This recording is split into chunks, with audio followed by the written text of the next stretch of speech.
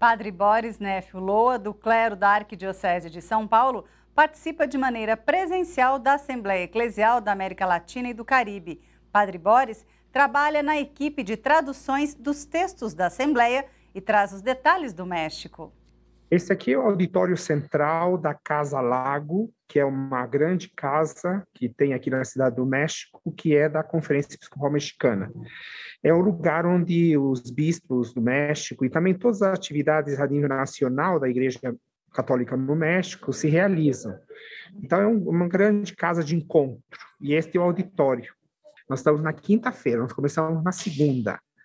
Hoje, a equipe de síntese está trabalhando em cima de tudo que chegou dos grupos. É, é, na, na, segunda, por exemplo, na segunda, os grupos de discernimento trabalharam é, feridas e esperanças, né? O que dói e o que são as esperanças. Então, isso foi o primeiro dia.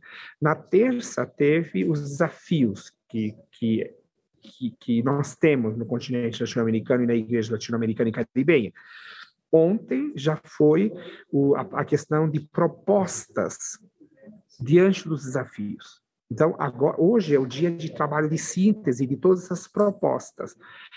E a gente, agora é que isso vai retornar para o plenário, vai ser ah, discutido provavelmente hoje, amanhã, amanhã é sexta e sábado. Isso aqui não é um ponto de chegada, isso aqui é um ponto de partida. O processo de escuta e discernimento ele tem que continuar. E aí, hoje, nós tivemos aqui a presença né, do, do cardeal Grec e do cardeal Wellet, né?